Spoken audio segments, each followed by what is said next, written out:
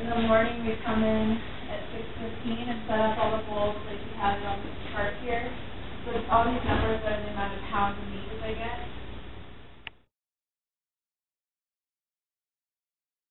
Oh.